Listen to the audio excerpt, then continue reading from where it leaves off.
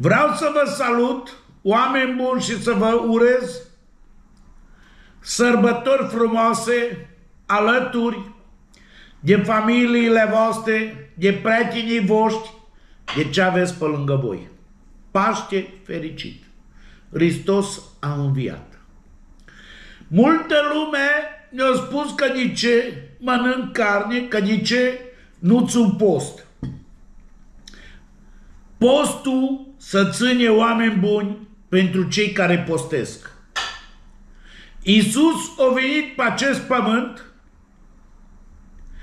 și-a vărsat sângele și-a dat viața, s-a lăsat chinuit pentru noi, pentru omenire, pentru păcatele noastre. Acum, eu spun așa, toți cei care să simt că au păcătuit în viață, să-și plătească aceste păcate. Prin fapte. Prin fapte, oameni buni. Nu că ți post. Ți post mâncarea care crezi că o trebuie să o mânci tu. Banii care cheltuiei în acele zile pe post. Să-i dai la amărâți. Așa să ține postul. Nu că lasă ca bun acolo, că mă curăț un pic și trup. Cam voi nu mai ziceți că țineți post. Ziceți că vă curățați în trup. Tot ce ții post în toate acele zile să banii care îi aduni, care crezi că îi cheltuiei pe mâncarea și pe plăcerile tale, să-i dai la amărâți. Aia înseamnă post. Iar voi care mere și ziceți că vă rugați la Dumnezeu să vă ierte, să nu știu ce, să vă pocăiți, nu mă, faceți fapte, mă. Dumnezeu Iisus o venit și a făcut, Dumnezeu a făcut faptă și a trimis copilul lui pe pământ. O făcut faptă, nu a zis vrăjală. O făcut faptă, oameni buni. Și a trimis copilul lui spre moarte pentru mântuirea unora. Deci, fraților, să încheiem cu treaba asta să vă intre în cap. Eu mănânc ce vreau, nu ți post și dacă-s bolnav, n-am ce post. Rugăciunea și fapta spre Dumnezeu e mai mare ca postul. Și acum să trecem la sectorul 2, audiență în public. Sectorul 2, audiență în public, prietenilor, eu să știți că sunt sătul sunt sătul de mangleală. Să nu vă supărați niciunul. Eu sunt sătul de vorbe, fratele meu. Eu sunt sătul de vorbe, trupa mea, băieții mei de elită, lupii mei, haita mea. Înțelegeți? În sătul. În ziua de astăzi, Vei avea trupă lângă tine? Vei avea băieți lângă tine? Vei avea alai după tine? Și vei fi susținut cu vorbe de laudă, începând de la boss? Doar atunci când le dai. Doar atunci când ei să poate folosi de tine. Ai căzut, ești vai și șamar. Un lăutar, mai mare exemplu nu trebuie. Du-te de la un lăutar. Du-te de la un lăutar. Să vezi cum te laudă și cum îți cântă.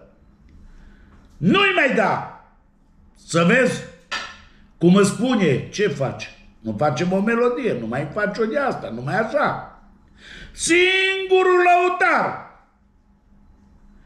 care încă îi aproape de mine.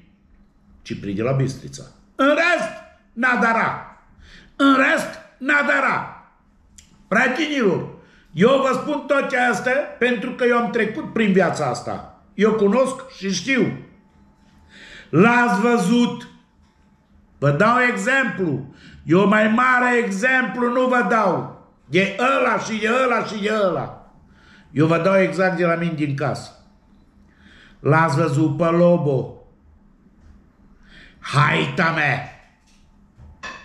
Trupa mea, haita mea! Măi, Lobo, ce haita ai tu, mă? L-ați văzut pe Lobo? Când era atunci în emisiune.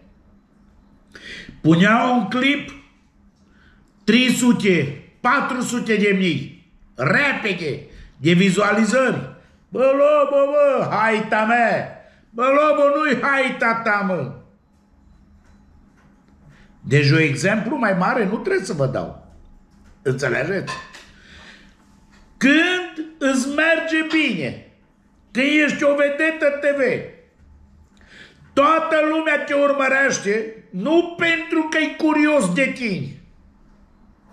Te urmărește, îți lasă like, îți lasă coment, da de-l bagi în seamă, da de cumva, cumva, poți, poate să se apropie de tine, să se laude. Am poză, am ăla, am așa. Mi-au răspuns la coment, televiziunile te e când ești în vervă. Când ai căzut, ești dat la o parte. Înțelegeți? Oameni care, Nelson, ți-am dat lic, ți-am dat apreciere. Înțelegi? Ați înțeles? Și acum, eu când îi spuneam la Lobo, nu credea. În vremurile alea erau lăutari care, nu numai la Lobo, chiar și la mine, frățioare, uh, îți dau 50 de euro, 100 de euro, am postat o melodie, îmi faci un de la Insta sau nu știu cum să zice. A? Toată lumea. Acum nimeni nimic. Lobo, unde ți haita? Unde? Că pui clip și de-abia faci 5.000-6.000 de vizualizări. Unde ți haita? Deci mai mare, mai mare exemplu nu este decât ce vă dau eu acum. Înțelegeți, prietenilor? De-aia vă spun și vouă. Eu dacă mâine nu mai îs, în 3-4 zile uită lumea de mine. Înțelegeți? Eu nu sunt prost. Au fost oameni mai grei. Au fost... Dau un singur nume în România asta. Fane Spoitorul. Uita lumea de el. Dumnezeu să-l ierte și să îl aibă acolo în pază. Deci, oameni buni, cât ești în forță ca să ne înțelegem, ești vedetă. Ești iubit, Iorgu, vorba vine. Înțelegi? Nimeni nu te cheamă la o nuntă. Nimeni nu te cheamă la o distracție. Nimeni nu te cheamă la știu eu ce eveniment. Înțelegi? Să mergi, să fii prezent, să ăla. Doar dacă au un beneficiu. Da. Uh, Băi, nu te așa, cine cântă? Florin Salam. Oh, deja când ai auzit uh, clubul, ceva, cine vine? Nelson Mondialu, Caterin Căuna. A, dar cine? Nu e nimeni, numai așa. Ați înțeles? Da, prietenilor, Doamne ajută! Doamne ajută, mămăliguță! Deci, să înțelegeți, cine va rămâne aproape de tine, care nici în ea să n-ai încredere 100%, va fi nevasta ta și familia. De ce spun să n-ai încredere 100%? Depinde cum caz. Dacă caz ca și fotbalistul ăla, înțelegi, de la noi, ați văzut, l-a lăsat nevastă sa.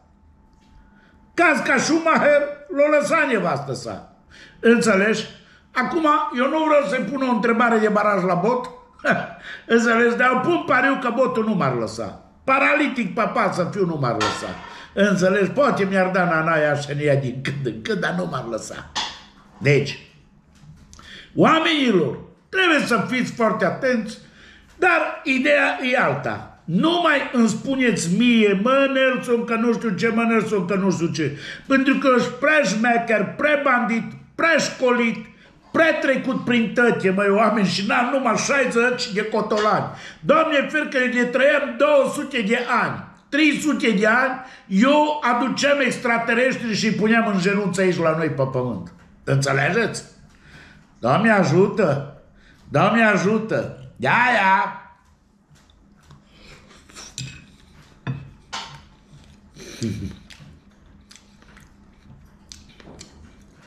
Eu vă iubesc în continuare.